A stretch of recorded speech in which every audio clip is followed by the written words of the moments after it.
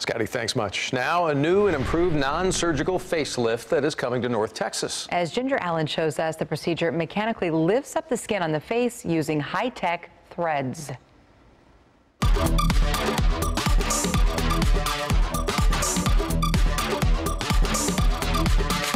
Tanya Foster wants to look how she feels. Anything anybody can do to make themselves look better or feel better about themselves, you should do. She runs a lifestyle blog and keeps up with the latest trends. Head back, straight back into the headrest, perfect. And this could be one of them. Foster is getting a recently approved non-surgical procedure called InstaLift, basically a non-surgical facelift. Minimally invasive, no downtime is key for me.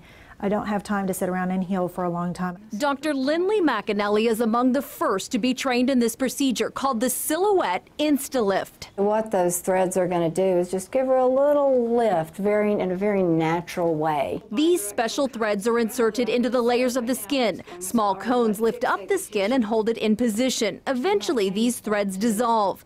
This is a new twist on an old procedure which used threads that did not dissolve. That procedure was banned by the FDA because of complaints. But Dr. McAnally says this new procedure has better technology. As it's dissolving, it is also stimulating collagen, which helps maintain the result. Dr. McAnally says it all takes about 45 minutes. Tanya's the perfect candidate. She's got great skin quality, really mild laxity right in the mid-face region. Side effects include bruising, bleeding, and possible nerve damage. But Foster says the results are well worth it.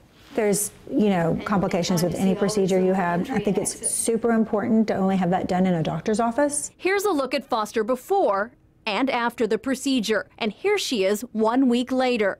Foster says she can see and feel the difference. I can tell there's a lift, and I can tell that these lines are a little bit better. I just feel fresher, I feel younger, I feel like I look better. Ginger Allen, CBS 11 News. And that's good for the confidence. The procedure costs about $500 per suture and typically takes about four to six sutures per face. It's not permanent. Results can last two years or more. And right now, this procedure is FDA approved for the cheek area only.